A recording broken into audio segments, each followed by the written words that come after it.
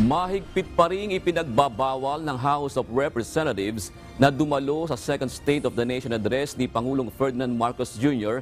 si suspended Negros Oriental 3rd District Congressman Arnolfo Teves Jr. Ayon kay House Secretary General Reginald Velasco, hindi imbitado o hindi kasama sa padadalhan ng imbitasyon si Teves. Una nang sinabi ni Congressman Teves na nais itong lumahok sa ikalawang sona ni PBBM kahit sa pamamagitan ng video conferencing lamang. Pero pagdidiin ni Velasco hanggang sa July 30 pa ang ipinataw na 60-day suspension kay Teves at wala pa itong entitlement sa plenary at anumang committee meetings sa ngayon.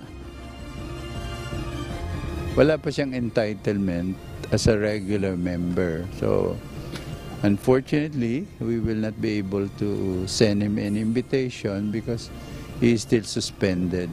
Kasi pag suspended ka, you have no access to the plenary as well as committee uh, meetings. No?